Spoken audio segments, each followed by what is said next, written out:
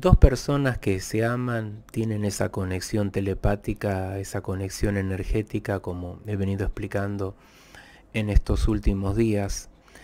Eh, o sea, a través de esa conexión o ese puente energético entre dos personas, por ejemplo, tus emociones se decodifican en energía y viajan por ese puente, por esa conexión y llegan a la otra persona y la otra persona es como que eh, le decimos telepatía, es como que siente o, o capta lo que te está pasando, ¿no? Hay tristeza, hay dolor, la otra persona que te ama lo sabe. Entonces, cuando vos querés recuperar el amor de una persona, ponete a pensar lo siguiente, ¿qué es lo que vos estás emitiendo a través de ese eh, puente, de esa conexión energética? Frustración, enojo, culpa, estás culpando a la persona, todos los días culpando a la persona. Entonces del otro lado, aunque la otra persona esa que te ama o, está conectada a vos y hay crisis y, no sabe ninguno de los dos si van a volver a estar juntos o no, la otra persona probablemente esté captando sin entender bien qué, esté captando esa energía, esa decodificación de tus emociones, de tus sentimientos, de, tus estados de ánimo, de tu pensamiento, por supuesto que vos podés decir, eh, sí, Rodrigo, pero también debe estar sintiendo todo lo que amo a esa persona. Sí, pongámosle que sí. Pero esto, esto me lleva a pensar lo siguiente. ¿Por qué no le damos importancia a ir purificándonos emocionalmente, limpiándonos eh, en un tiempo donde hay una crisis de pareja? Me, me parece una cosa obvia lo que estoy diciendo, ¿no? Eh, si resulta que todo el día, mañana, tarde y noche, estoy como invadido por esas emociones básicas que alteran mi energía, mi cuerpo físico, mi estado de ánimo, eh, que, siempre las nombro, ¿no? El miedo que puede hacerse muy poderoso, eh, la tristeza que puede hacerse poderosa y si, se va de control me va a provocar una depresión, Rodrigo, y que mi autoestima baje por el piso, ¿ok? y la ira, la frustración, vos culpas a la persona, te culpas vos. Básicamente esas tres se ponen muy poderosas. Pero ¿y cómo voy a estar tranquilo, Rodrigo, si siento que estoy perdiendo el amor de mi vida? Bueno, es que justamente, yo entiendo, ¿no? Porque a todos los seres humanos nos pasan cosas así, yo entiendo, pero justamente, con más razón que nunca, Cualquier intento a través de rituales, de magia, de un coach, de un terapeuta de pareja de recuperar el amor, implica recuperar la alegría perdida, la felicidad perdida, purificar la mente, limpiarnos. O sea, está muy bien cuando la gente me dice, mire, yo me estoy haciendo Reiki, estoy trabajando la energía desde el Reiki, yo estoy trabajando la metafísica con visualizaciones de la llama violeta de Saint Germain. Me parece fantástico, me parece maravilloso pero cómo estás trabajando también las emociones desde tu mente, esa gestión de emociones. Porque quizá haya que hacer un trabajo, eh, el, o el, brujo, la persona que te acompaña en, esto, ¿no? En, lo mágico, en lo sutil, en lo energético, te tiene que acompañar, te tiene que ir guiando, te tiene que decir cosas que, que te ayuden a despertar lo mejor de vos mismo, de vos misma, y hay que hacer ejercicio de tipo emocional hay que liberar esas emociones para que no queden estancadas y nos bloquee y además para ir transmutándolas en, emociones más, eh, más luminosas.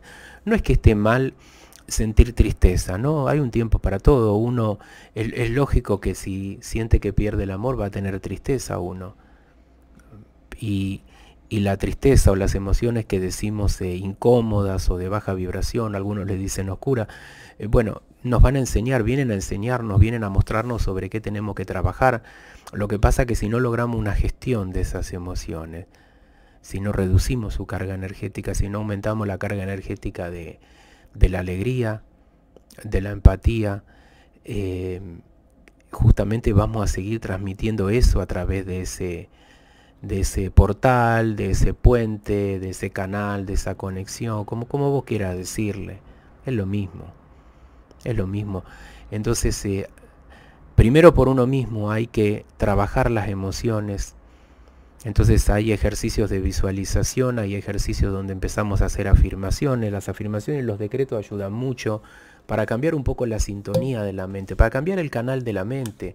Porque sí, yo entiendo, uno puede estar muy triste, con mucho miedo y muy enojado y culpando al ex o a la ex, ¿no? O a tal o cual persona. Eh, pero hay que cambiar el canal de, de, televisión o de radio. Vamos a pasar un poco a un canal de televisión o de radio un poco más positivo, mejor onda. Entonces nosotros vamos a vibrar en esa onda y vamos a transmitir esa onda. Y eso no significa que no aparezca un poco la tristeza, pero hay que gestionar la tristeza. Si aparece la tristeza y se apodera de nuestra mente, de nuestra energía, eh, contamina el cuerpo físico, el cuerpo energético, los chakras, los canales energéticos, y, entonces, eh, sí entiendo, si pasa es porque nos está señalando algo que tenemos que trabajar, pero hay que hacer algo al respecto para tener una vida plena, ¿no? Para, para intentarlo y que funcione. Eh, entonces hay que trabajar el mundo emocional, ¿no? Se puede hacer con terapia psicológica. Eh, yo propongo visualizaciones eh, guiadas, visualizaciones que hace la propia persona, donde la persona aprende a manejar su propia energía, a calmar emociones. las meditaciones sirven mucho para calmar la mente, para aprender a estar en paz, a fluir, no dejarse llevar por cada emoción tóxica que aparezca. Y si aparecen, aparecen por algo, está todo bien. Aprender a estar en paz. Eh, tener un entendimiento más profundo, más sabio de las cosas. Las cosas a veces no son tan lineales. Como yo quiero que vuelva mi ex porque yo la amo y nada más. A ver, entendé que si hubo una crisis entre ustedes, algo pasó. Bueno, hay que trabajar en ese algo. ¿En qué me equivoqué? ¿Cómo puedo cambiar? Hay que ver cuáles son los traumas del pasado, sanarlos, ¿no? Si vos te sentís nunca amado y siempre rechazado en el amor desde niño, desde niña, hay que sanar eso. Eh, si vos sentís que tenés que sanar eh, alguna historia con la cual resonaste tus ancestros, bueno, hay que sanarlo, si hay que trabajar sobre la madre, sobre el padre, hay que sanarlo. Pero, pero hay que intentar hacer algo en ese, en ese nivel, ¿no? Porque alguno dirá, y bueno, sí, yo, eh, no sé, nunca tuve madre, padre, eh, una infancia desastrosa, pero ya está, lo tengo todo superado. Y quizá no, y quizá no, y quizá eso despierta eh, un montón de emociones y un montón de conductas que vos no te das cuenta de auto boicot, porque vos no crees en que mereces la felicidad o no, o no crees que, que alguien te va a amar. Entonces te enojaste, te frustraste, te peleaste con tu pareja y tu pareja desde el amor te quiso ayudar. Lo mismo digo para personas que te han herido en el pasado, que, no necesariamente estamos hablando de relaciones de amor, amigos, amigas, eh, personas que pasaron circunstancialmente por tu vida. Eh, te hirieron, hay que sanar el vínculo. Vos heriste, hay que sanar la relación desde lo energético, pero también desde lo emocional. Porque si no, cada vez que vos te acordás de lo que pasó en el pasado, te va, a te va a despertar enojo, furia, rabia. Y quizá eso, aunque vos no lo, no lo crees, puede ser que esa otra persona, aunque hace 10 años que no la ves o no lo ves, eh, capte eso, ¿no? Y en ese momento justo se acuerde de vos y no sabe ni por qué se acuerda de vos porque está captando esa onda.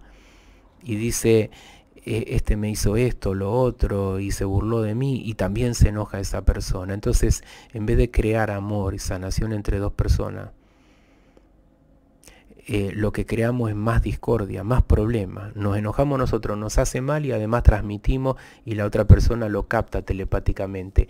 ¿Y por qué lo captaría si no es una persona importante, Rodrigo? Y hace 10 años que no la veo, no lo veo, porque todos estamos unidos en el universo porque hay un entramado energético donde todos los seres estamos unidos y cuando se pasa, se asciende a la, quinta dimensión, uno de los aprendizajes es que todo es uno, que no hay nada fuera de, la presencia o de la conciencia y que no somos personas individuales, como nos identificamos en este plano.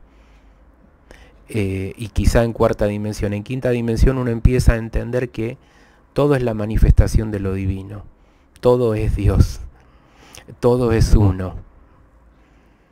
Ponele que vos no creas eso, supongamos que yo todavía no lo entiendo en profundidad, pero hay conexiones. Entonces por ahí algo que vos estás pensando hoy que te despierta enojo, frustración, quizá le llegue a alguien que quizá no está en este plano y murió hace muchos años.